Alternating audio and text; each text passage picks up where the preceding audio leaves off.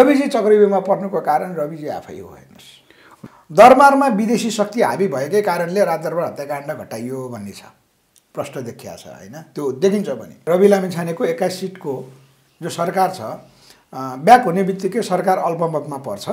अब त्यो अल्पमतमा कि त अब काङ्ग्रेस एमाले साथ दिने गरेको एउटा समझदारी भएको हुनु पर्यो? अथवा मेजर ठुला पार्टीहरू सत्तामा जाने निर्णय भएको हुनु पर्यो उहाँहरूको के छलफल छ थाहा छैन। या काङ्ग्रेस र एमालेको चाहिँ सरकार निर्माण सम्बन्धी सहमति भएछ भने त्यता होला। स्वाभाविक रूपमा रासोबा सरकारमा नरहने हो भने त यो सरकारको समीकरण फेरिन्छ। जेठ पन्ध्र गते चाहिँ बजेट प्रस्तुत हुनुपर्ने मिति हो नि। अब अहिले त प्रष्ट रूपमा जेठ पन्ध्रमा बजेट नआउन सक्ने प्रष्ट रूपमा देखियो। अब कुनै एउटा चाहिँ आकस्मिक रूपमा सम्झौता भयो भने मात्रै हो। अब नीति तथा कार्यक्रमै आउँदैन भने यो त वैशाख पन्ध्रसम्म नीति तथा कार्यक्रम आइसक्नु पर्थ्यो एक महिना अगाडि कार्यक्रम आउनु पर्थ्यो त्यो कार्यक्रमलाई आधार बनाएर बजेट प्रस्तुत हुनुपर्ने हो। त्यस अर्थमा चाहिँ यो सरकार रहने पनि देखिन्न। अब अर्को सरकार बन्नुको चाहिँ अर्थ पनि देखिन्न भनेको एउटै सूत्र लामो हामीले पहिलादेखि भन्दै आएको नेपाल वैदेशिक शक्तिको चक्रव्यूह भनेर भन्छौँ। अहिले प्रष्ट रूपमा भन्नुपर्छ दक्षिण शक्तिको हाबीको कारण यहाँ कुनै पनि निर्णायक अवस्था रहने भएन। हामी फेरि पनि एउटा चिन्ता चाहिँ के हो भने हामी कतै फेरि पनि दक्षिणको ठुलो एउटा भुमरीमा परेर त्यो दक्षिणी शक्तिको ठुलो भुमरीमा परेर चाहिँ नेपाल राष्ट्र चाहिँ सदाको लागि ऊ अधीनस्थ हुने गरी हामीले एउटा सम्झौता त गर्नुपर्ने छैन। नेपाल आर्थिक रूपमा सक्षम नभएको हुनाले कुनै न कुनै नेपाल यहाँ हामीले त आर्थिक विकास त गर्नु पऱ्यो कि देश छोडेर भाग्नु पऱ्यो बाहिर। होइन भने यहाँ देशमै काम गर्छु भन्ने त कुनै न कुनै जन्जालमा फसेकै हुन्छ। यहाँ कोही पनि कोही पनि नेपालीमा बच्ने देख्दिनँ होइन? त्यही क्रममा रविजी नेपाल फर्किनु भयो न्युज ट्वेन्टी फोरमा काम गर्नुहुन्थ्यो। उहाँले ग्यालेक्सी फोके टेलिभिजन खोल्ने एउटा निर्णय गर्नुभयो आर्थिक चाह्यो। जसरी हुन्छ कसले आर्थिक दिन्छ त यहाँ? देशको लागि काम गर्छु भन्दा त आर्थिक कसले दिँदैन नि? अब उहाँले एउटा परिपाटीबाट टेलिभिजन त चलाउनु भयो भने हो। यहाँ देशभक्तहरूलाई फसाइन्छ भनेको यस्तै हो कि। त्यसकारण जम्मा दुई करोडको कुरामा। हो त उसो के? प्राइभेट कम्पनीले चाहिँ सहकारीबाट लोन लिन न नहुने प्रावधान चाहिँ कानुन बनाउने कसले पुरानो नेताहरूले बनायो होइन अनि सहकारीबाट ऋण लियो यो डुब्यो यसले चाहिँ सहकारीबाट चाहिँ दुनियाँको पैसा ल्याएर उसलाई व्यापार गर्न नसक्ने स्थिति बनाए रवि यहीँ चुक्या हो कि? अब एक त जिबी राई जस्तो नेटवर्किङबाट अगाडि बढेको त्यस्ता मान्छेसँग चाहिँ उनी पुगे। यहाँ देशभक्त कसैलाई उदाउनै नदिने। शक्तिशाली बन्नै नदिने परिपञ्च अन्तर्गत रवि फसियो फसे। अब नत्र अहिले सहकारीको ऋण लिएर ऋणतिर त सिद्धिन्छ नि। अब उनी त्यहाँबाट मात्रै एउटा त त्यहाँबाट सिद्धिन्छन्। अर्को अब एउटा नेपालको चाहिँ कानुनी जटिलताको कारण नागरिकताको कारण छ। त्यो नागरिकतासँग जोडिएको पासपोर्ट काण्ड हो। अब यहाँ वैदेशिक शक्ति राष्ट्रको निर्णायक नेता काङ्ग्रेस एमाले माओवादी र त्यसका प्रमुख मेजर नेताहरू निर्णायक हुने भन्दा बाहेक युवा पुस्ता निर्णायक हुने गरेको चाहिँ अवस्था आउनै नदिने योजनामा रवि पनि फस्या हो क्या कङ्ग्रेस त अब सत्ता बेगर बस्न सक्ने पार्टी होइन। यद्यपि कङ्ग्रेसका मान्छेहरू अलि लामै समय काङ्ग्रेस सरकारमा नभए पनि आर्थिक रूपले बलियो भएको हुनाले काङ्ग्रेस चाहिँ चल्छ है भन्छन्। अब उनीहरू मास बेस पार्टी पनि भए। कम्युनिस्टहरू चाहिँ मास बेस पार्टी होइनन् होइन? उनीहरूको चाहिँ क्याडर बेस हुन् उनीहरूका सङ्गठनहरू चलाउनु पर्ने हुन्छ यसर्थमा अब कङ्ग्रेसले सत्ताको नेतृत्व गरिरहँ भन्ने चाहना त स्वाभाविक हो। त्यसो त अब उनासीको चुनावपछि किन सरकार कङ्ग्रेसले सरकार बनाउन सकेन त? विषय त यही हो। अहिले बत्तिस सिटको प्रचण्ड माओवादी नेतृत्व हुनुको कारण पनि यही हो। समाजको आवाज डट कम। हाम्रो पार्टी नेपालका संयोजक गोविन्द बोहरा बर्मान सरले हाम्रो च्यानलमा स्वागत छ। धन्यवाद।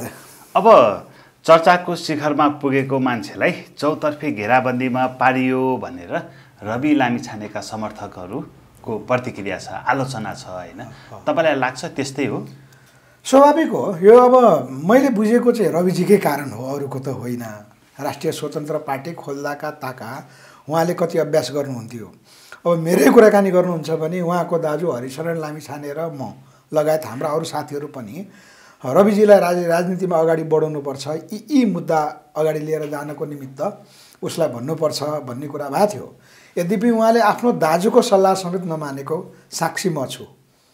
अब पछि रासोपा खोल्दाखेरि उहाँको राजनीतिक हुटुटी सम्भवतः अब नेपालमा त वैदेशिक शक्तिद्वारा जति यहाँ इन्फ्लुएन्स छ अथवा उनीहरूद्वारा चाहिँ यहाँ तम तयार अभियन्ता भनौँ राजनीतिक दलका नेतादेखि कार्यकर्तासम्म जो बनाइन्छ उनीहरूले घेराबन्दीमा पारे होइन? रविलाई चाहिँ राजनीतिमा आउन नदिने गरी अथवा आएको खण्डमा फेरि पनि वैदेशिक शक्तिको चक्रव्यूहमा पर्ने गरी जो एउटा परिपाटी बनाइएको थियो त्यो बेलामा त्यो संरचना भनौँ त्यो संरचनामा पुग्नु त त्यसलाई चिन्न नसक्नु अथवा जानेर नजानेर त्यो गल्ती त रविजीकै हो नि।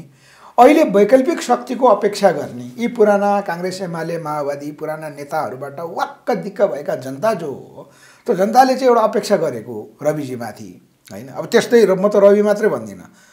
अब रविजी जसरी चक्रव्यूहमा फसेर अहिले सिद्धिनु भयो अब उहाँ सिद्धिआए भनेर चिन्ता गरेर त हुँदैन। त्यो गल्ती त भइसक्यो। पार्टी निर्माणकै क्रममा चाहिँ र- रविजीले ध्यान दिनु पर्थ्यो भन्ने बुझाइ हो।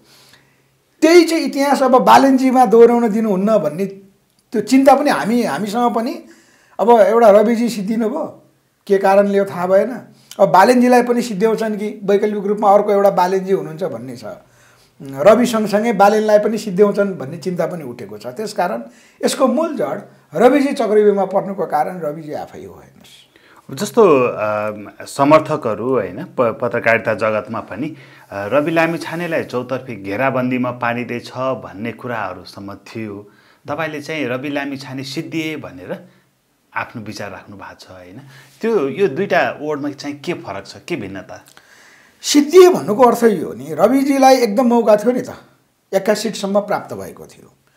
त्यो एक्काइस सिटको उपयोग भनेको वैकल्पिक पार्टीको लागि चाहिँ प्रतिपक्षमा बस्ने एउटा अवसर थियो।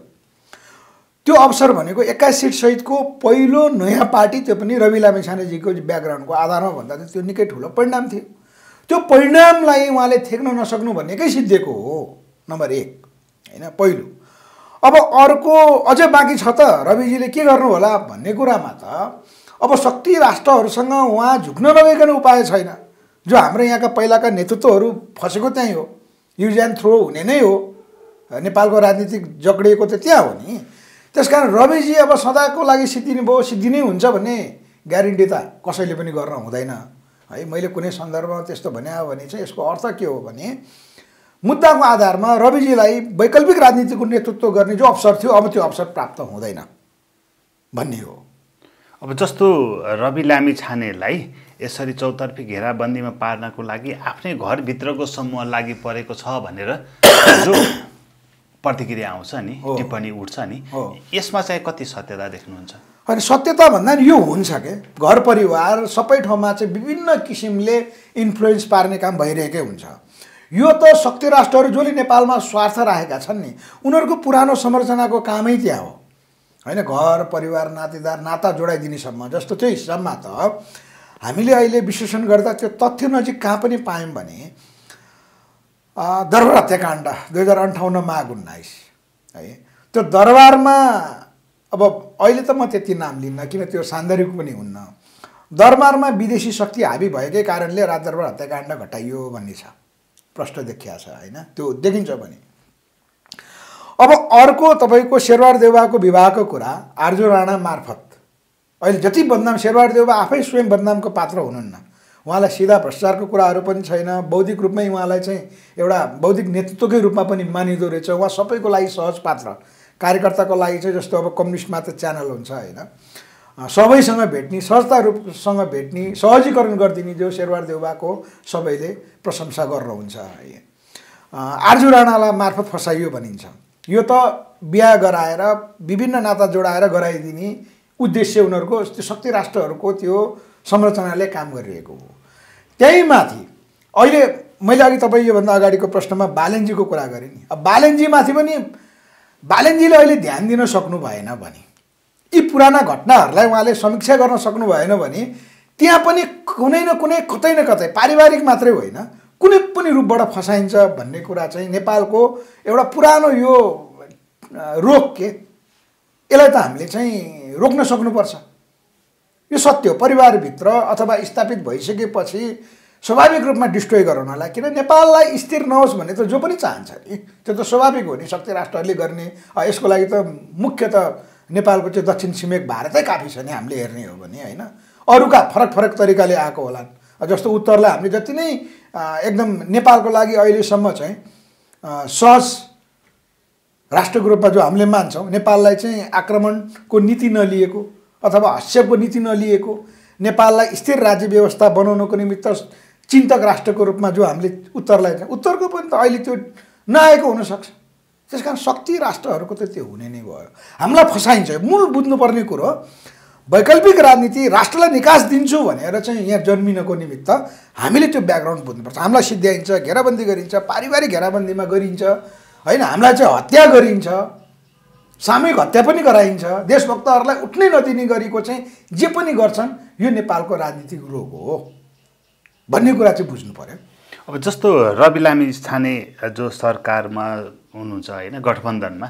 यो गठबन्धनको सरकारको भविष्य अब चाँडै सिद्धिँदैछ भनेर प्रतिक्रियाहरू विश्लेषणहरू भइराखेका छन् होइन। तपाईँलाई के लाग्छ? रवि लामी छानेकै कारणले यो सरकार गिर्छ? रवि लामी छानेकै कारणले गिर्न त स्वाभाविक देखिहालिन्छ। होइन रवि लामी छानेको एक्काइस सिटको जो सरकार छ ब्याक हुने बित्तिकै सरकार अल्पमतमा पर्छ। अब त्यो अल्पमतमा कि त अब काङ्ग्रेस एमाले साथ दिने गरेको एउटा समझदारी भएको हुनु पर्यो। अथवा मेजर ठुला पार्टीहरू सत्तामा जाने निर्णय भएको हुनु पर्यो उहाँहरूको के छलफल छ थाहा छैन। या काङ्ग्रेस र एमालेको चाहिँ सरकार निर्माण सम्बन्धी सहमति भएछ भने त्यता होला। स्वाभाविक रूपमा रासोबा सरकारमा नरहने हो भने त यो सरकारको समीकरण फेरिन्छ। अब मूल कुरो सरकारको समीकरण फेरिनु किन यसलाई राखिरहनु किन? हामीले दुई कोणबाट हेर्नु पऱ्यो क्या। सरकारको समीकरण फेरियो भने के हुन्छ? एउटा विषय। यही समीकरण रहिरह्यो भने के हुन्छ त? अर्को विषय। अब दुइटैलाई हामीले विश्लेषण गर्ने हो भने दुइटैले परिणाम ल्याउँदैन। कि त मुद्दा चाह्यो समीकरण यस कारणले फेर्न चाहन्छौँ भनेर चाहिँ कि योभन्दा पछि समीकरण कसले बनाउन खोजेको छ? काङ्ग्रेस एमाले अथवा माओवादीले नै चाहिँ राष्ट्रिय सरकारको कल्पना गरेको हो भने यसकारण राष्ट्रिय सरकार यसकारण यो समीकरण फेर्न पर्यो भनेर चाहिँ प्रचण्डले भन्नु पर्यो या काङ्ग्रेस एमाले कसैले भन्नु पर्यो? अब यही सरकार रहने एउटा सम्भावना किन देखिँदैन? यही समीकरण रहने किन देखिँदैन? भन्दा अहिलेसम्म यतिखेर चाहिँ तपाईँको सरकारको नीति तथा कार्यक्रम आइसक्नुपर्ने। जेठ पन्ध्र गते चाहिँ बजेट प्रस्तुत हुनुपर्ने मिति हो नि। अब अहिले त प्रष्ट रूपमा जेठ पन्ध्रमा बजेट नआउन सक्ने प्रष्ट रूपमा देखियो। अब कुनै एउटा चाहिँ आकस्मिक रूपमा सम्झौता भयो भने मात्रै हो। अब नीति तथा कार्यक्रमै आउँदैन भने यो त वैशाख पन्ध्रसम्म नीति तथा कार्यक्रम आइसक्नु पर्थ्यो एक महिना अगाडि कार्यक्रम आउनु पर्थ्यो। त्यो कार्यक्रमलाई आधार बनाएर बजेट प्रस्तुत हुनुपर्ने हो। त्यस अर्थमा चाहिँ यो सरकार रहने पनि देखिन्न। अब अर्को सरकार बन्नुको चाहिँ अर्थ पनि देखिन्न भनेको एउटै सूत्र लामो हामीले पहिलादेखि भन्दै आएको नेपाल वैदेशिक शक्तिको चक्रव्यूह भनेर भन्छौँ। अहिले प्रष्ट रूपमा भन्नुपर्छ दक्षिण शक्तिको हाबीको कारण यहाँ कुनै पनि निर्णायक अवस्था रहने भएन।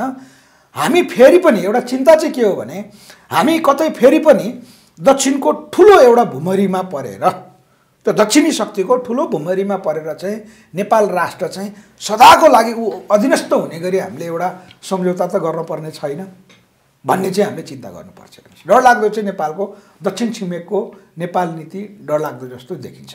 हामी दक्षिणको भुमरीमा चाहिँ सदाको लागि फस्न सक्ने चिन्ता चाहिँ यसले देखाउँछ यो परिणामले। जस्तो रवि लामी छानेको सहकारीको केसले गर्दाखेरि उहाँलाई छानबिन समिति गठन गर्ने माग गरेर काङ्ग्रेस चाहिँ संसद अवरुद्ध गरिरहेको छ होइन? तर मलाई छानबिन गरेर ल म राजीनामा दिन्छु भन्नुपर्ने मान्छेले पार्टी आफ्नो पार्टी नै सरकारबाट ब्याक गराउने कुरा चाहिँ कतिको सान्दर्भिक लाग्छ तपाईँलाई चाहिँ? त्यो दुइटै कुरा उस्तै उस्तै हो। अब रवि बत्ने देखिँदैन। अब रविको राजनीतिक स्ट्यान्ड के हो? त्यो त प्रश्न छैन। रविको पार्टीलाई हेर्ने हो भने हामीले बाहिरबाट हेर्दा प्रश्न देख्छौँ हेर्नुहोस्। एउटा बालेनको टिम त्यहाँ प्रश्न देखिन्छ जो मन्त्री पनि छन् है। हामीले बाहिरबाट हेर्दाखेरि यहाँ उहाँहरूलाई भोट हाल्ने नागरिकको चाहिँ कुरा सुन्दा पनि विराज भक्त महर्जनहरू गणेश कार्कीजीहरू चाहिँ बालेनको कुराकानीहरू बालेनसँग निकट भएका कुराकानीहरू सुनिन्छ होइन। मिलन पाण्डेहरू स्वाभाविक रूपमा त्यो देखिन्छ पनि। यता प्रष्ट रूपमा अर्को हेर्दाखेरि चाहिँ स्वर्णिम वाग्लेहरू है। यता तोसिमा कार्की। यी नेपाली काङ्ग्रेसको गगन थापाको चाहिँ प्यानलबाट फिट पारिएका पात्रहरूको रूपमा देखिन्छ। अब यो सरकारमा रहनु र नरहनुको अर्थ राजनीतिक अर्थ म देख्दिनँ। अब रवि लामी छानेको लागि चाहिँ अब जसरी उहाँलाई सहकारी ठग भनेर जसरी ल्याइयो नि नेपालको राजनीतिक अवस्था यो राजनीतिक अवस्था भनेको यो संविधानको उपज योभन्दा पहिलाको संविधानको नि उपज नेपाल आर्थिक रूपमा सक्षम नभएको हुनाले कुनै न कुनै नेपाल यहाँ हामीले त आर्थिक विकास त गर्नु पऱ्यो कि देश छोडेर भाग्नु पऱ्यो बाहिर। होइन भने यहाँ देशमै काम गर्छु भन्ने त कुनै न कुनै जन्जालमा फसेकै हुन्छ। यहाँ कोही पनि कोही पनि नेपालीमा बच्ने देख्दिनँ होइन? त्यही क्रममा रविजी नेपाल फर्किनु भयो न्युज ट्वेन्टी फोरमा काम गर्नुहुन्थ्यो। उहाँले ग्यालेक्सी फोके टेलिभिजन खोल्ने एउटा निर्णय गर्नुभयो आर्थिक चाह्यो। जसरी हुन्छ कसले आर्थिक दिन्छ त यहाँ? देशको लागि काम गर्छु भन्दा त आर्थिक कसले दिँदैन नि? अब उहाँले एउटा परिपाटीबाट टेलिभिजन त चलाउनु भयो भने हो। यहाँ देशभक्तहरूलाई फसाइन्छ भनेको यस्तै हो कि। त्यसकारण जम्मा दुई करोडको कुरामा हो त उसो भए के? प्राइभेट कम्पनीले चाहिँ सहकारीबाट लोन लिन न नहुने प्रावधान चाहिँ कानुन बनाउने कसले पुराना नेताहरूले बनायो होइन। एउटा टेलिभिजन कम्पनीले कि त ऋण सहकारी संस्था त्यो सिद्धान्त तमा खोल्नु हुँदैन थियो। सहकारी संस्थाको मोडालिटी ऋण सहकारी संस्थाको रूपमा खोल्ने त कङ्ग्रेस गल दोषी हो नि त दुई हजार उन्चासको चाहिँ सहकारी ऐन बनाउने। होइन? यो त हाम्रो चाहिँ कृषि उत्पादन सामूहिक उत्पादन गर्ने अनि सामूहिक सङ्कलन केन्द्र अनि सामूहिक बिक्री गर्ने। त्यो त गुजरातको चाहिँ हेरे भइहाल्यो नि हामीले मोडल। यहीँ भारतको गुजरातमै त्यो सहकारी सिद्धान्त यहाँ नअप्नाउने। अनि सहकारीबाट ऋण लियो यो डुब्यो यसले चाहिँ सहकारीबाट चाहिँ दुनियाँको पैसा ल्याएर उसलाई व्यापार गर्न नसक्ने स्थिति बनाए रवि यहीँ चुक्या हो क्या? अब एक त जिबी राई जस्तो नेटवर्किङबाट अगाडि बढेको त्यस्ता मान्छेसँग चाहिँ उनी पुगे। यहाँ देशभक्त कसैलाई उदाउनै नदिने शक्तिशाली बन्नै नदिने परिपञ्च अन्तर्गत रवि फसियो फसे। अब नत्र अहिले सहकारीको ऋण लिएर ऋणतिर त सिद्धिन्छ नि। अब उनी त्यहाँबाट मात्रै एउटा त त्यहाँबाट सिद्धिन्छन् अर्को अब एउटा नेपालको चाहिँ कानुनी जटिलताको कारण नागरिकताको कारण छ त्यो नागरिकतासँग जोडिएको पासपोर्ट काण्ड भयो अब यो वैदेशिक शक्ति राष्ट्रको निर्णायक नेता काङ्ग्रेस एमाले माओवादी र त्यसका प्रमुख मेजर नेताहरू निर्णायक हुने भन्दा बाहेक युवा पुस्ता निर्णायक हुने गरेको चाहिँ अवस्था आउनै नदिने योजनामा रवि पनि फस्या हो क्या। त्यस कारण मैले देखेको रविजीको लागि निकास के हो भने अहिले नै सबभन्दा पहिलो म चाहिँ तुलनात्मक रूपमा। उनले सहकारी ठगी यो गरा छैन भनेर स्पष्टीकरण दिने होइन उसले संसदमा सम्बोधन गरेर। मैले यो यो गल्ती गरेँ एक किसिमको चाहिँ श्वेतपत्र सोसेर भनौँ नेपाललाई चाहिँ सम्बोधन गरेर राज्य व्यवस्थापन यहाँको राज्य संयन्त्र यहाँको कानुनी त्रुटिको कारण मैले काम गर्ने क्रममा यो गति बिहोर्नु पऱ्यो भनेर राजीनामा दिएर अनि त्यो पार्टीभित्र घुसपेट ला भएको अथवा रविलाई शङ्का लाग्छ कि लाग्दैन। होइन? हो अर्को पार्टी बनाएर चाहिँ रविजी देशभक्तहरूको पार्टी बनाउन राजीनामा दिएर बाहिर आउँदा तुलनात्मक रूपमा ठिकै देख्छु। होइन अब त्यहाँभित्र भएका पार्टीका साथीहरूलाई हातमा लिने जस्तो स्वर्णिमहरू मनिष झाहरू लगायत चाहिँ अब अरूबाट प्रवेश गराएकाहरू होइन। लाई लिएर अगाडि बढ्ने हो भने त राजीनामा दिएर चाहिँ आए पनि रविजी मुक्त हुने म देख्दिनँ। उहाँको सफा नियत म देशभक्तपूर्ण राजनीति गर्छु।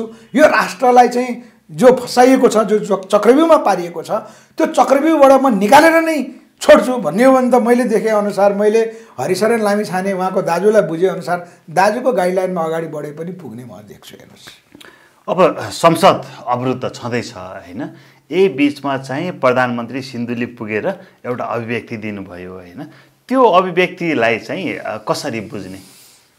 अब यो अब हामीले सिधै कसरी बुझ्ने भन्दा पनि प्रचण्डजीले भन्नुभएको यो नयाँ समीकरण बनिसकेपछि म बाचुन्जेल उथल पुथल गरिरहन्छु भन्नुभएको कुरालाई। अब यो पछिल्लो भनाइ। यस्ता त उहाँका विवादास्पद अभिव्यक्ति विवादास्पद यस मानेमा कि जनतालाई स्थिर शासन नदिएको अर्थमा उहाँको विवादास्पद हो। जनयुद्ध सुरुवात भयो बैसठी त्रिसठी सम्झौतामा टुङ्गियो। नेपाली जनताले भनेको भन्दा विपरीत संविधान बन्यो। नेपाली जनतालाई प्रचण्डले धोका दिएको यस अर्थमा मानिन्छ होइन? त्यस मानेमा प्रचण्डजीलाई अस्थिर भन्नुको अर्थ त्यो उहाँले जति प्रतिरक्षा गरे पनि माओवादीले जति प्रतिरक्षा गरे पनि प्रचण्डजी अस्थिर भनेको नेपाली जनताको स्थिरता नभएको कारणले उहाँ नेतृत्व हुनुभएको कारणले अस्थिर भनेको। अब उहाँले अस्थिर बनाइरहन्छु भन्नु नै हुन्थ्यो। उहाँका गतिविधि त्यस्तै थिए नै होइन? अब उहाँका हेर्नुहोस् न अब अस्थिर भन्ने कुरा त उहाँले वर्षै पछि अब अस्ति पनि के लोसारको बेलामा म तामाङहरूलाई मन्त्री बनाएरै छाड्छु भन्नुहुन्थ्यो। योभन्दा पहिला गुरुङलाई मन्त्री बनाएरै छाड्छु भन्नुहुन्थ्यो। आफू सब प्रधानमन्त्री भएपछि होइन? अब जनयुद्धको क्रममा नेवा राज्य दिलाएरै छोड्छु तमु राज्य दिलाएरै छोड्छु भन्नुहुन्थ्यो होइन त? तर त गर्नु भएन नि त। गर्नुभयो त त्यो संरचना संविधानमा काहीँ ल्याउनु पनि भएन। सकिन भने पनि जनयुद्धको चाहिँ स्पिड लिएर जनतामा जानु पर्थ्यो त्यस अर्थमा प्रचण्डजी अस्थिर हो। अस्ति उहाँले गर्न खोजेको चाहिँ प्रचण्डको चरित्रको आधारमा भन्ने हो भने ढाडमा टेकेर टाउकोमा हान्ने उहाँको रणनीति कायमै रहेछ।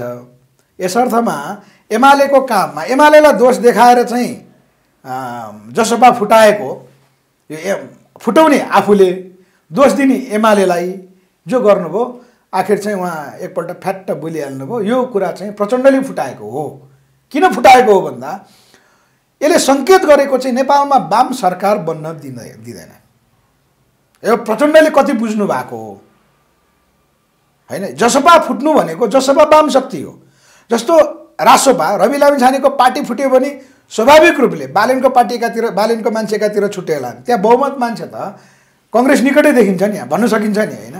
उनीहरूको चाहिँ पार्टीको सभापति भन्ने बित्तिकै उनीहरू डेमोक्रेटिक प्रजातान्त्रिक लाइनका भन्ने बुझिन्छ। पार्टीको अध्यक्ष भनेको कम्युनिस्ट प्रणालीमा पार्टीको अध्यक्ष हुन्छन् के महासचिव प्रणाली हुन्छन्। अब जस्तो विप्लवको टिम स्वाभाविक रूपले चाहिँ वामसँग एकता गर्छ। हो अब प्रचण्डले जसपा फुटाउनु भनेको स्वाभाविक रूपमा चाहिँ आफ्नो वाम शक्तिलाई फुटाउनु जुन जुटाउने उनले नीति लिन्छन् फुटाउने कुरा गर्छन्। है त्यसकारण यसले के गर्छ त के सङ्केत गर्यो भन्दा प्रचण्डको सङ्केत फेरि पनि कम्फर्टेबल सरकार निर्माणमा। त्यो कम्फर्टेबल सरकार भनेको शेरबहादुर एमाले बाहेकको राजनीतिक शक्ति बनाएर प्रचण्ड फेरि पनि प्रधानमन्त्री भइरहने प्रचण्डको चाहना देखियो। यो नेपालको लागि कति घातक छ भन्ने कुरा आगामी समयले मूल्याङ्कन गर्छ। यो मैले भन्ने हो भने प्रचण्डको अर्को नेपालमाथिको चाहिँ घाती कार्य हो जसपा फुटाउनु अर्को घाती कार्य हो। यसले वाम शक्तिलाई एक हुन दिँदैन। होइन? अब एमाले भन्दा बाहेकको सरकार बन्यो भने के हुन्छ त? नेपाली जनताको चाहना छिमेक राष्ट्रको चाहना नेपालमा अब सधैँभरि अस्थिर हुनु हुँदैन है? संविधान संशोधन गरेर एउटा बलियो बनेर जाऊ। हामी पनि सहयोग गर्छौँ भन्ने छिमेक राष्ट्रको जे भए पनि पहिलो राष्ट्र त नेपालमाथि हक्षेपकारी भए पनि त पहिलो राष्ट्र त भारत र चिन त हो हो। त्यसलाई त हामीले चाहिँ उसको नीति बदल्नलाई नेपालबाट भूमिका खेल्नलाई त बलियो सरकार बनाउनु पर्यो। बलियो सरकार बनाउनलाई चाहिँ एउटा वाम भइकन कम्युनिस्ट भइकन जनयुद्ध हाँकेको चाहिँ नेतृत्व र जनयुद्धको क्रममा चाहिँ काङ्ग्रेस विरुद्ध हो नि त उहाँको बढी आक्रमण। अनि फेरि त्यही काङ्ग्रेससँग सहकार्य गर्ने गरी एमाले अभ्यास गरेको वाम शक्ति बनाएर चाहिँ चौरासीमा चुनाव जित्ने योजनालाई तुहाएको त प्रचण्ड देखियो। अब यसले के गर्छ भन्दा वाम शक्तिलाई घाटा लगायो। यसले के गर्यो भन्दा इन्डो वेस्टर्न शक्तिलाई बल पुर्यायो। प्रश्न त यही हो नि। जस्तो यो संसदको कुरा गर्दाखेरि नेपाली काङ्ग्रेस चाहिँ आफ्नो नेतृत्वमा सरकार गठन गर्ने प्रक्रियामा गएको छ। तर ओली चाहिँ सरकार भन्दा पनि संसद विघटन गरेर मध्यावधिमा जाने प्रक्रियामा छन् भनेर जो कुराहरू चलिरहेको छ नि यसलाई चाहिँ कसरी बुझिन्छ? स्वाभाविक रूपमा कङ्ग्रेस त अब सत्ता बेगर बस्न सक्ने पार्टी होइन। यद्यपि कङ्ग्रेसका मान्छेहरू अलि लामै समय काङ्ग्रेस सरकारमा नभए पनि आर्थिक रूपले बलियो भएको हुनाले काङ्ग्रेस चाहिँ चल्छ है भन्छन्। अब उनीहरू मास बेस पार्टी पनि भए। कम्युनिस्टहरू चाहिँ मास बेस पार्टी होइनन् होइन? उनीहरूको चाहिँ क्याडर बेस हुन् उनीहरूका सङ्गठनहरू चलाउनु पर्ने हुन्छ यसर्थमा अब कङ्ग्रेसले सत्ताको नेतृत्व गरिरहँ भन्ने चाहना त स्वाभाविक हो। त्यसो त अब उनासीको चुनावपछि किन सरकार कङ्ग्रेसले सरकार बनाउन सकेन त? विषय त यही हो। अहिले बत्तिस सिटको प्रचण्ड माओवादी नेतृत्व हुनुको कारण पनि यही हो। यसको कारण भनेको नेपालमा पहिला जस्तो इन्डिया र अमेरिका मात्रै निर्णायक छैनन् भन्ने अर्थमा बुझ्नु पऱ्यो यिनीहरूका स्वरूप के हुन् हामीले भन्न सकिँदैन। यदि हुन्थ्यो भने काङ्ग्रेस र एमाले ठुला पार्टीहरू कम्तीमा ल काङ्ग्रेस प्रतिपक्षमा भए पनि एमालेमा प्रतिपक्षमा भए पनि यी दुईवटा मध्ये एउटा सरकारमा हुनु पर्थ्यो काङ्ग्रेस प्रतिपक्षमा हुने हो भने एमाले सत्ता चलाउनु पर्थ्यो एमाले सत्ता चलाउने हो भने काङ्ग्रेस प्रतिपक्षमा हुनु पर्थ्यो यसको लागि प्रतिपक्षले पनि भूमिका खेल्नु पर्थ्यो यो किन हुन सकेन भन्दा यसको सिधा कारण हो पछिल्लो चरण नेपालमा चिन पनि निर्णायक भएर आएको देखियो। यसमा रुस अहिले बहुत वश लिएर रुस जसरी अगाडि बढेको छ। नेपालबाट पनि केही व्यक्तिहरू एउटा डिप्लोमेट जो उहाँहरू बाहिर त्यति खुल्ला हुनुहुन्न केही मिडियामा अन्तर्वार्ता त दिनुभएको छ म स्वयंले पनि त्यो सहयोग गरिरहेको छु कि मल्टिपोलर सिस्टममा अलेक्जेन्डर दि दिगुइन सरले जो एउटा अभ्यास गरिरहनु भएको छ नेपालबाट पनि त्यो छलफल अहिले एउटा कन्फरेन्स हुँदैछ। हाम्रो नेपालबाट तिनजना जाँदै हुनुहुन्छ। छिट्टै हेर्नुहोस् है मिति तय भइसकेको छैन। यसको सिधा कारण यो हो नेपालमा चिन रसिया अमेरिका भारत युरोप। यी निर्णायक हुन्। पहिला जस्तो इन्डिया र अमेरिका मात्रै निर्णायक हुन सक्दैनन् भन्ने प्रश्न सङ्केत हो। यो नै आगामी नेपालको राजनीतिको निर्णायक पक्ष हो। यसले कता लान्छ त अब?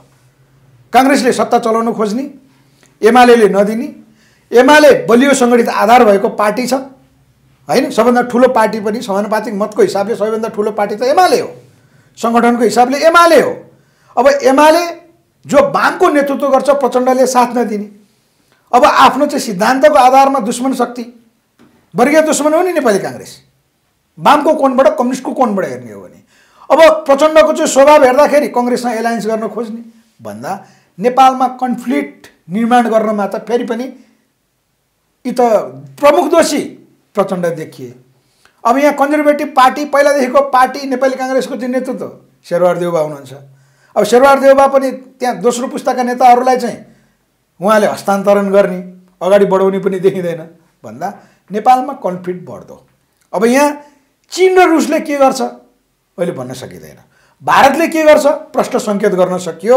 भारतले यहाँ उसले अहिले नबोलेको हुनाले नि हिन्दू अतिवादीहरूको मुभमेन्ट त कसले चाहिँ होइन भन्न सक्छ? नेपाली सेनाका प्रमुखले समेत अहिले तराई क्षेत्रमा चलेको। अस्ति संसदीय समितिमा चिफ साहबले भन्नुभयो नि धार्मिक विषयलाई चाहिँ त्यहाँका अगुवा नेताहरूले सामाजिक सञ्जालमा उत्तेजना फैलाउने गरीको स्ट्याटसहरू नलेखिदिया भए नलेख्नको लागि अनुरोध त्यसको लागि राजनीतिक कार्यकर्ताहरूले चाहिँ सम्झाउन बुझाउन भनेर आर्मीको चिफले समेत भन्नु भनेको त यो त गम्भीर सुरक्षा चुनौतीको रूपमा देखा परेको छ। होइन? अब यतापट्टि पूर्व क्षेत्रमा हेर्ने हो भने सैन्य अर्धसैन्य दस्ता नै तपाईँको पहिचानका पक्षधरहरूले बनाइसकेको स्थिति देखिन्छ। अब यसले के देखायो त भन्दा भारत हामीले भनेको नमान्ने हो भने नेपालमा के गर्छौँ भन्ने कुरा भारतले सङ्केत गर्छ। त्यो आगामी मोदीको उदयपछि सङ्केत गर्ने भयो।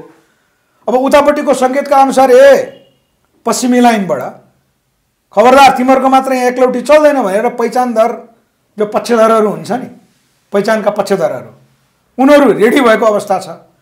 अब यहाँ चिन र रुस अब रुसले पछिल्लो पटक नेपालका राष्ट्रिय गौरवका पैँतिसवटा आयोगहरू के अरे पैँतिसवटा आयोजनाहरू अगाडि बढौँ हामी चाहिँ अनुदानमा काम गरिदिन्छौँ भनेर रुस आउनु खोजेको देखिया छ होइन? रुस सिधा सिधा पो देखिँदैन यहाँ। रुस सिधै आउनु पर्दैन होइन? अब यहाँ हिजो अस्ति कतारका राजा आए के गर्न आयो होला? पर्यटक बनेर यहाँको चाहिँ खै सहरमा त चढ्या नि देखिएन। हाम्रो कुनै चाहिँ राष्ट्रिय निकुञ्ज घुम्न गएको नि देखिएन। खास कारणले त आउनुभयो। त्यस कारण यो अस्थिरता नेपालमा स्थिरता ल्याउन नदिने अब यहाँ शेरवार देउबाको र पहिला जस्तो एमालेको मात्रै चाहिँ निर्णय हुँदैन।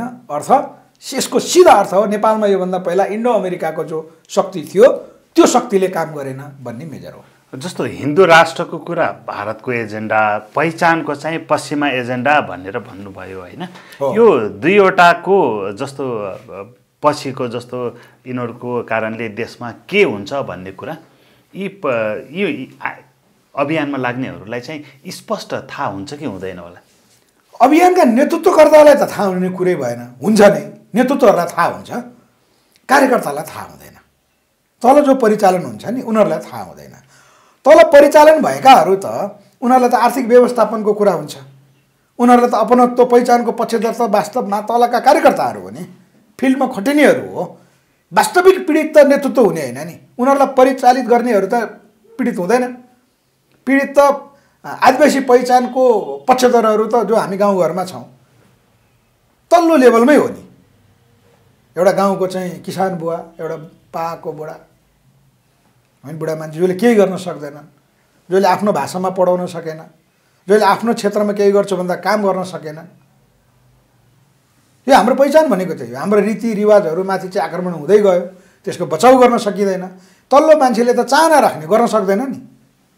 एउटा ओडाको ओडा अध्यक्षले केही काम गर्न नसक्या जस्तै। कम्तीमा ओडाले काम गर्नलाई त उसको गाउँपालिका अथवा नगरपालिकाले निर्णय गर्यो भने मात्रै सक्छ। हो। त्यो तल्लो कार्यकर्ताहरूलाई म परिचालित विदेशीहरूको यो डिजाइन छ भन्ने कुरा चाहिँ मलाई बुझे जस्तो लाग्दैन। मेजर नेतृत्वले प्रमुख नेतृत्वले त त्यसको व्यवस्थापन सबै गर्नुपर्ने भएको हुनाले उसले बुझेकै हुन्छ।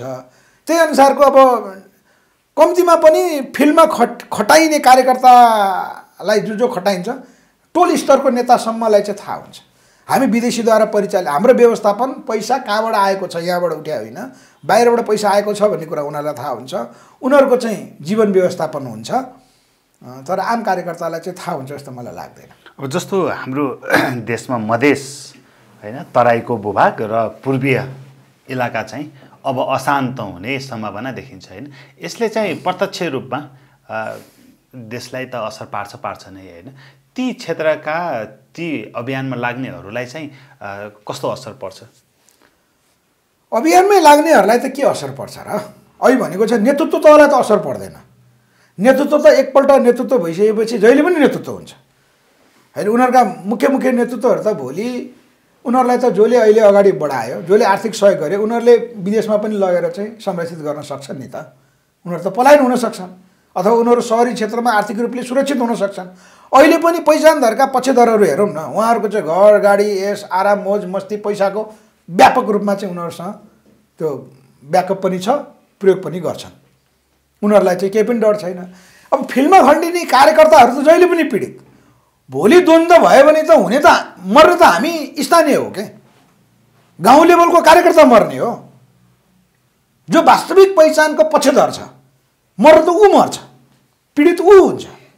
समाजमा त ऊ भाग्न पनि चाहँदैन। एउटा पहिचान पक्षधर एउटा किसान पहिचान पक्षधर आफ्नो मुद्दा त ऊ पीडित भएको त महसुस गर्न पाएन यो प्रजातन्त्रमा उसले अहिले जो आफ्नो कुराहरू राखिरहेको छ भोलि ऊ त गाउँमै टिक्नुपर्छ।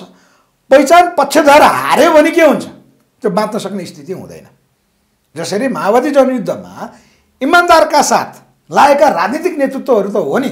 कार्यकर्ता त्यो बेला कार्यकर्ता नेतृत्व त भन्नु पऱ्यो नि हामीले। आम सर्वसाधारण भन्दा जनयुद्धमा सामेल भएकाहरू यो त माओवादीको मूल नेतृत्वले धोका दिएको कारण आज तिनीहरू गाउँमा बस्न नसक्ने स्थिति भएको थियो हो नि।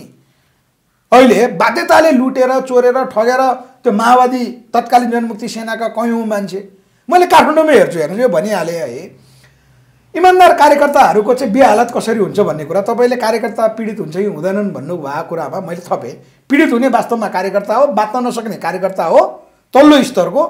त्यो अन्तर्गत काठमाडौँमा हेर्नुहोस् म हेर्छु अहिले मिडियामा हाल्छन्। जब सांस्कृतिक क्रान्तिको कुरा गर्ने माओवादीका काठमाडौँको चाहिँ जिम्मेवार एउटा वाइसिएलको नेतृत्व हेर्नु एउटा क्षेत्रको त्यो पनि काठमाडौँ दसवटा क्षेत्रमध्ये सबभन्दा टप उनको अब म नाम लिन्न तपाईँलाई साङ्केतिक रूपमा म भनिदिन्छु। उनको अहिले वनस्थलीमा डान्स दोहोरी रेस्टुरेन्ट सेक्वा जहाँ रक्सी नचाउने त्यो नचाउने पनि भलगर माओवादीको जिम्मेवार वाइसिएलको इन्चार्जको अर्को एउटा वसुन्धरामा बस्छन्। उनी बाबुराम भट्टराईको निकट काठमाडौँमा माओवादी प्रवेश गरिरहँदा बैसठी त्रिसठीको आन्दोलन हुनुभन्दा केही अगाडि फापरबारीमा ठुलो सेनासँग भिडन्तमा लडेको एउटा कमान्डर। अहिले अगाडि बियरको ग्लास लिएर म सेयरको बादशाहसँग भनेर वरिपरि टेबलमा जहाँ डक्सी खाएर म सेयरको बादशाह भनेर फोटो पेस्ट गर्छन्। यो माओवादी कार्यकर्ता उनीहरू पनि त्यहाँसम्म मलाई जहाँसम्म लाग्छ बाध्यताले उनीहरूको च्यानल सहरी भयो।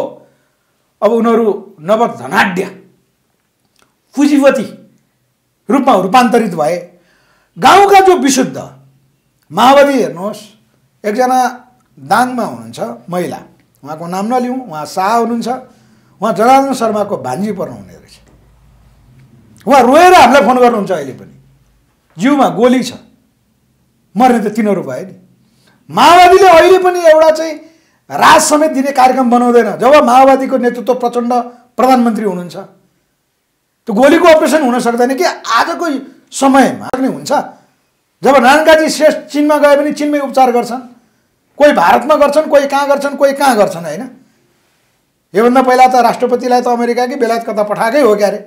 सुशील कोइरालालाई त उहाँ मर्नुभन्दा अगाडि तिन महिना अमेरिकामा राखेर उपचार गरेकै हो। पीडित भनेको तल्लो स्तरको जो इमान्दार कार्यकर्ता हुन्छ उनीहरू हुने हो। हामीले चाहिँ तल्लो स्तरको कार्यकर्ताले बुझ्नु पर्यो। र मूल कुरा चाहिँ हामी देशभक्त राजनीतिक शक्ति नभइकन हुँदैन है। पहिचानको पक्षधर जो जो हुनुहुन्छ उहाँहरूले हाम्रा लिडरसिप हामीद्वारा परिचालित हुनु पर्यो। विदेशीद्वारा पैसा ल्याएर उनीहरूले हामीलाई पैसा दिन्छन् भन्दैमा उनीहरूलाई लिडर मान्ने भनेर चाहिँ तल्लो स्तरको कार्यकर्ताले बुझ्नु भएन। पहिचानको आन्दोलन सत्य हो चलाउनु पर्छ। हामी पनि पहिचानका पक्षधर। पहिचानको पक्षधर भनेको त उनीहरूले राजनीतिक एजेन्डा दिएको छैन। म आज तपाईँहरूको टेलिभिजन मार्फत भन्न चाहन्छु पहिचान भनेको के हो त? भन्दा जो उत्पीडित महसुस गरिरहनु भएको छ नि सबभन्दा पहिला तपाईँको क्षेत्रमा तपाईँले सानोदेखि होइन एउटा चाहिँ साधारणतया बालक चार वर्षदेखि स्कुल जान्छ भने उसको घर परिवारमा नेपाली बोल्न पनि जान्दैनन् इङ्ग्लिस बोल्ने त कुरै हुन्न। आफ्नो मातृभाषामा पढाइ हुनु पऱ्यो होइन।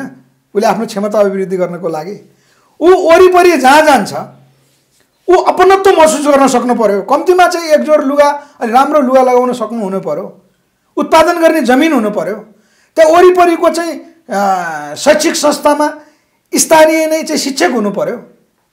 वरिपरिको प्रशासनिक इकाइमा स्थानीय पनि हुनु पर्यो अनिवार्य। अनि तपाईँ स्थानीयहरूले उत्पादन गरेका चिजहरू बजार व्यवस्थापन गर्नु गर्नु पर्यो। पहिचान भनेको त त्यही होला नि। तपाईँ बाँच्न पाउनु पर्यो तपाईँको भाषामा पढ्न पाउनु पर्यो तपाईँको वरिपरि काम गर्न पाउनु पर्यो। तपाईँ तपाईँलाई त्यो भूगोल त्यहाँको रहनसहन जति थाहा छ त्यसको भरपुर उपयोग मार्फत राष्ट्रलाई विकास गर्नको लागि योगदान दिन सक्नु पर्यो। त्यो अवस्था निर्माण गर्ने भनेको त कानुन निर्माण हो सत्ता निर्माण हो। अनि यो सत्ता निर्माण कसरी हुन्छ त भन्दा राजनीतिक निर्णय हो। अनि तपाईँहरूको प्रतिनिधित्व संसदमा हुनु पर्यो पहिचानवादीको प्रतिनिधित्व बल्ल संसदमा हुनु पर्यो। अल्पसङ्ख्यकहरूको अल्पसङ्ख्यकहरूको प्रतिनिधित्व संसदमा अहिले छ त। अनि अल्पसङ्ख्यकको पक्षमा पहिचानको पक्षमा पार्टीगत बाहेक तपाईँहरूको आवाज उठाउने त कोही हुन्न। पहिचान भनेको त यो हो नि। अधिकार सम्पन्न स्वायत्तता हो। तपाईँको स्थानीय निकायमा स्वायत्तता जस्तो म रामेछापको सैलुङ क्षेत्रको पर्छु भने सैलुङको स्वायत्तता त मैले पाउनु पर्यो। त्यो सैलुङको उपयोगद्वारा पर्यटन त्यहाँ खाने पानी कृषि उत्पादन जो आलुहरू उत्पादन हुन्छ त्यो सारा उत्पादनको निर्णयद्वारा चाहिँ हामी सैलुङवासी आर्थिक रूपले समृद्ध हुनु पर्यो। अनि हाम्रो स्वास्थ्य उपचारदेखि शिक्षामा हामी सम्पन्न हुनु पर्यो। हो यो मुद्दा नभइकन अब पहिचानका पक्षधर भनेर विदेशीले जो आदिवासी जनजाति लडाउनलाई एक हुन नदिनुको निमित्त जो जो पैसा दिएर तपाईँहरूकोमा आउनु भएको छ मार खाने तपाईँहरू हो। यो कुरा तपाईँहरूले बुझ्नुपर्छ।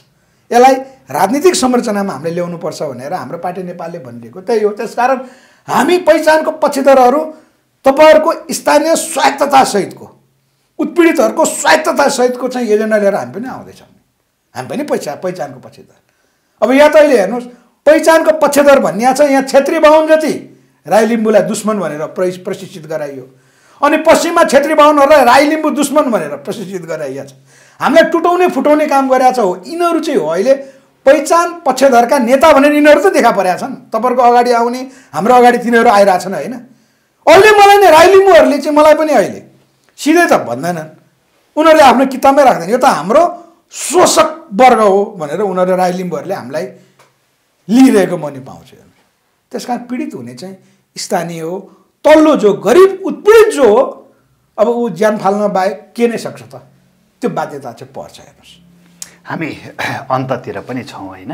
अब उपेन्द्र यादवलाई तपाईँ आफ्नो दृष्टिकोणमा चाहिँ कसरी वर्णन गर्नुहुन्छ? तुलनात्मक रूपमा उपेन्द्र यादव त्यो बेलामा एक मधेस एक प्रदेशको लागि वातावरण निर्माणकर्ता भए पनि पछिल्लो चरण त्यही हो। राजनीति रूपमा अगाडि आउनको लागि यहाँ हन्टर ठक्कर त खानै पर्छ। मैले अघि भने फसाइन्छ। उपेन्द्र यादवलाई यो मधेसको चाहिँ हाम्रो कमान्डभन्दा बाहिर जाला भनेर त्यसलाई विभिन्न कारणबाट चाहिँ उपेन्द्र यादवलाई फसाइयो गौर हत्याकाण्ड मार्फत।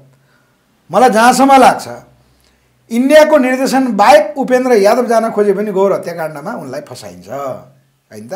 विषय त्यस्तो छ।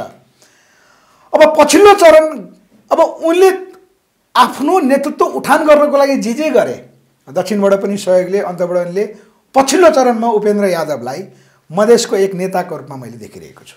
वास्तविक मधेसवासी वासीहरू जो तराईमा बसोबास गर्छन् नि हो वास्तविक तराईमा बसोबास गर्नेहरूको नेतृत्व उपेन्द्र यादव हो। त्यही उपेन्द्र यादवलाई चाहिँ माओवादी नेतृत्व प्रचण्डले जो वास्तवमा पहिचानका पक्षधर होइन? गरिब उत्पीडितहरूको चाहिँ संरक्षण गर्नुपर्छ भन्ने विचार बोकेको विशुद्ध चाहिँ लोकल तराईवासीको चाहिँ नेतालाई ध्वस्त बनाउने गरी प्रचण्ड लाग्यो भनेपछि मैले एक शब्दमा भन्नुपर्दा उपेन्द्र यादव अहिले राष्ट्र निकास दिनको निमित्त उहाँ चाहिँ देशभक्तकै रूपमा हुनुहुन्छ। विदेशीको लागि चाहिँ प्रतिकूल नेपाललाई जसले चाहिँ हस्तक्षेप गरे नि त्यसको पक्षमा चाहिँ हुनुहुन्न। म देशभक्तकै रूपमा उपेन्द्र यादवलाई चाहिँ मैले अहिलेसम्म बुझ्छु।